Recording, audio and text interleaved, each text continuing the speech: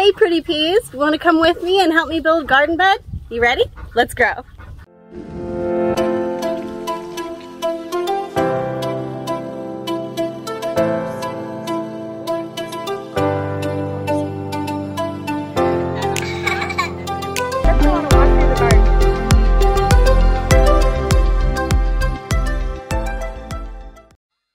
You want to know how I turned this into this? Let me show you. I started by cleaning up my area and just removing all of these remains from the picket fence that we built. And then it was time for a quick trip to the hardware store, aka my husband's garage. I took a bunch of scrap wood that we had lying around, some power tools, and some screws. Then I made a swift getaway on his tractor with my accomplice. Now I needed to create a moisture barrier between my house and the garden bed and I didn't have any heavy plastic so I just used some of these black garbage bags that we had and I just cut right along the seam. This is only a temporary bed is, is only meant to last one season so it doesn't have to be super sturdy or perfect. It's only going to be here for a few months. Now that I have this set up, I'm going to build a frame We'll drop that in and then finish our moisture barrier by again cutting along the seams of a garbage bag and turning it into somewhat of a tarp and laying it out.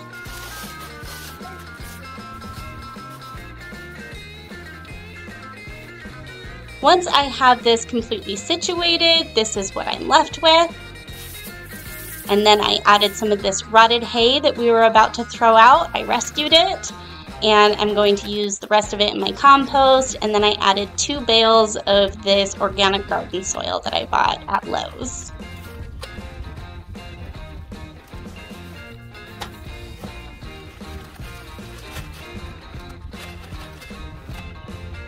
I'll go through and break up some of the larger chunks and make sure that I don't have any, you know, moldy bits or anything in there because I will want to remove that and then I'll do the same thing to the second one. Now the first one was a big job, so for the second one, I went ahead and let my son operate a tractor to get those bits broken up a bit faster.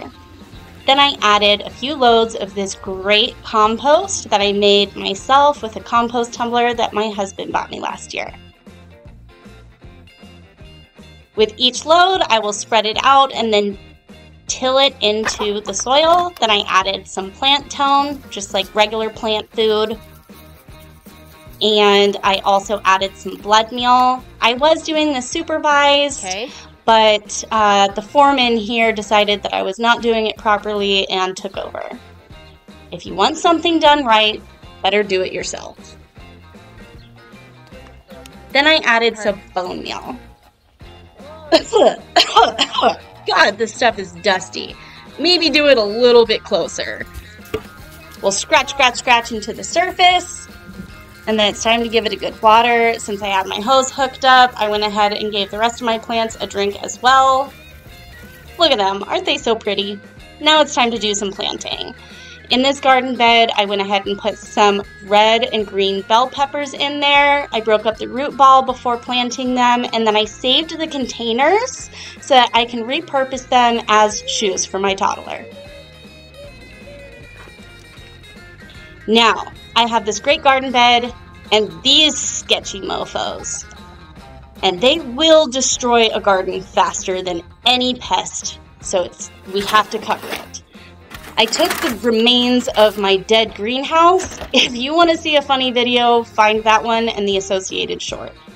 I created a frame and used this deer net to create a barrier and then just used screws to secure it that I could unhook so that I still had access to it. Again, this is temporary and only meant to last a couple of months, uh, so it is not as fancy as the great metal and wood frames that my husband built for the rest of my garden beds.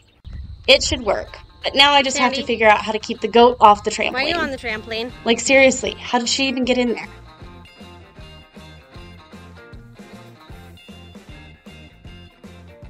Thanks for watching. Subscribe!